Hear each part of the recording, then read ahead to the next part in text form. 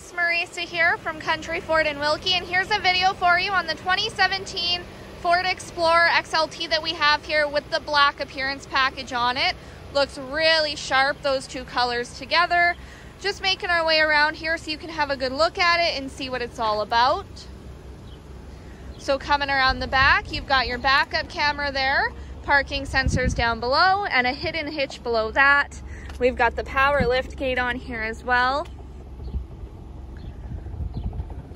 So with that open, you'll see you've got lots of space in the trunk area with that third row up. It's nice because it's kind of a deep um, trunk space as well, so you can fit more stuff. And then these seats here will fold down. Um, you can stow them so they lay nice and flat. Coming around on the other side. So for the interior, it's kind of a multi-tone color. You've got the suede inserts with the leather on the side. No rips, tears, stains, anything like that. Got our climate controls in the back as well. Rubber floor mats to keep everything nice and clean. These belts are the inflatable ones for extra safety. And then you've got that double sunroof up top. Keyless entry. Full power seats. And then I always like to do a close up on the driver's seat because that gets the most wear and tear and it looks really good. So once we're inside, you've got your touchscreen display here, Bluetooth navigation, that'll all be used on here.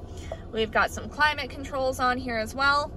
And if we make our way down, then you've got your hard buttons for your climate controls, dual climate, and your heated seats in the front. Lots of space here for any storage. You've got your different terrain modes, so if it's snowy or rocky, you're taking it off-roading, anything like that. Push button start.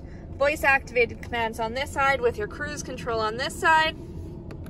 And then we've got just over 93,000 kilometers on here. So it's an excellent choice, uh, loaded up with some great features for convenience and comfort.